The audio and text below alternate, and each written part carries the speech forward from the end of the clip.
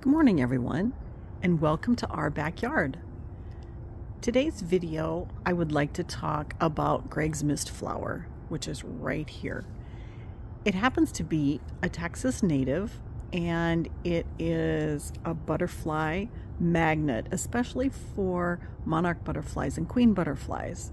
There's a couple of things that I want to share with you on this particular plant and um, I also am going to need to prune it back because it rained very hard here um, over the last couple of days and we've gotten oh four or five inches of rain and it um, flopped over. So let me get a little closer.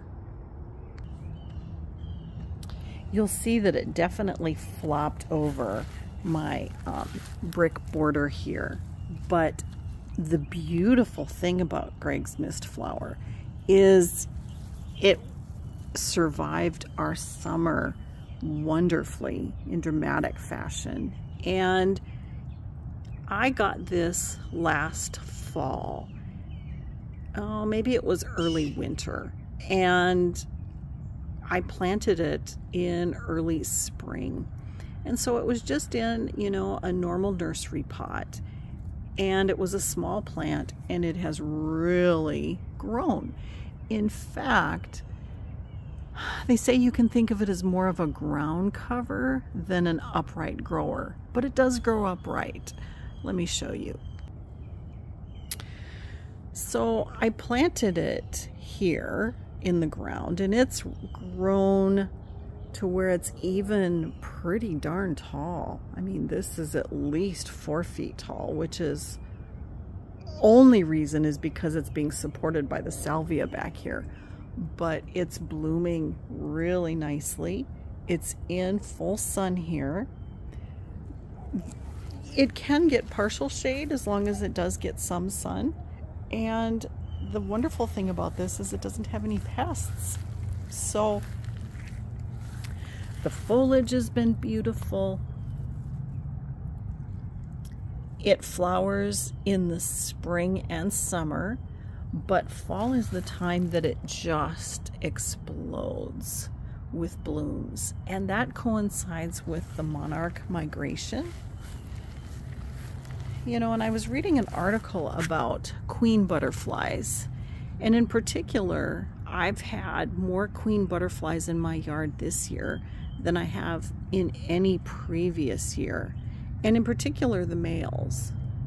And there's a substance or a compound in this Gregg's Mist flower that um, is vital to the queen butterflies, which they transfer, the males transfer to the females. And so um, it's a real interesting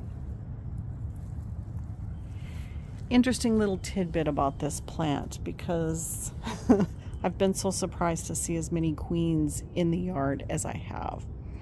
So as I mentioned, this is flopped over and even though there's beautiful um, blooms here, I don't want this on my grass. And so I will be pruning it. And I've actually pruned this multiple times.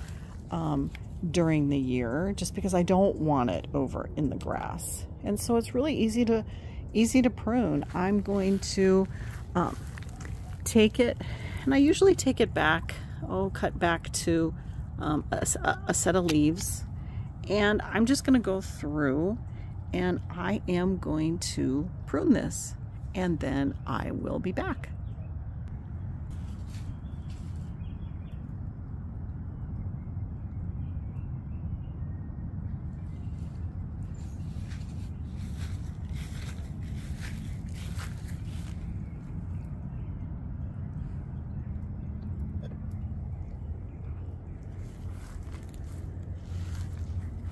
It was a little bigger job than I was expecting it was going to be, but it had flopped over and um, it had already killed the grass at the base of the of the brick just because the grass was not getting any sun. So you can see you can heavily clip it back um, and it just it's just done very well.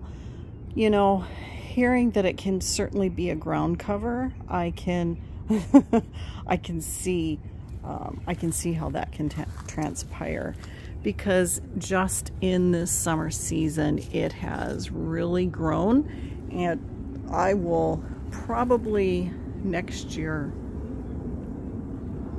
need to keep it more under control than I did this year. This year for me was an experiment to see how it would grow in the garden and I'm very happy with it. Um, now that I know what its habit is and how it grows, I am certainly going to be um, a little more on top of the growth because I don't want it to take over as a ground cover in this location. Certain locations I wouldn't mind actually, but this location I don't want a ground cover. And as you can see, it does spread um, pretty, pretty heavily. So, um, and then it's going over into, let me come over here. It's coming over into my lantana even somewhat. And this is my mounding lantana. Oh, good. So it, um, and this has just been in one season. So this is a plant I always want to have in the yard, but I do need to keep more on top of it. Um, and like I said, it took our summer heat like a champ, which some plants did not. And I really like the fact that I have blooms um, for the hummingbird, for the butterflies, the monarch butterflies that are coming through on migration even though I did have to cut back, this should rebound. I do have quite a few blooms here still. Um, and then of course they're high in, in, the, in the salvia. One thing about this is this is root hardy to zero degrees Fahrenheit and um, it also, if you do freeze, it will uh, go to the ground, but you can it certainly comes back from the root from what I've read and then the other thing is is you can very aggressively um, prune it deadhead it and it takes it like a champ.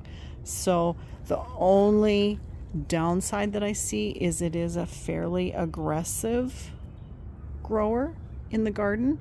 And if you don't want it to take over a space you need to keep it trimmed up. And I only trimmed it this way and you can see I didn't right by the brick. And so I need to be um, thinking where strategically where I would like to put this um, for next year so anyway I wanted to share this with you because it was such a champ this summer and it is a native It's got a really pretty color foliage. And it really doesn't have pests.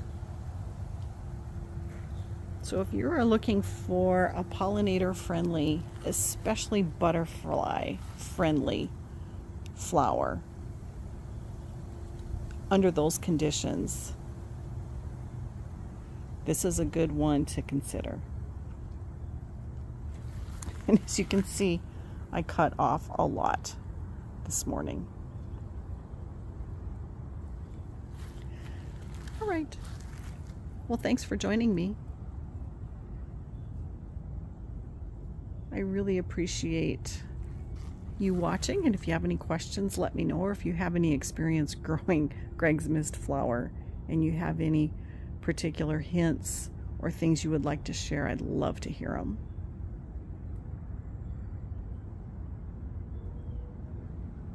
The sun's just starting to peek through.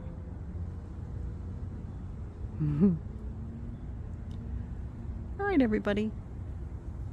Well, I hope you have a great day today. And I hope to see you again.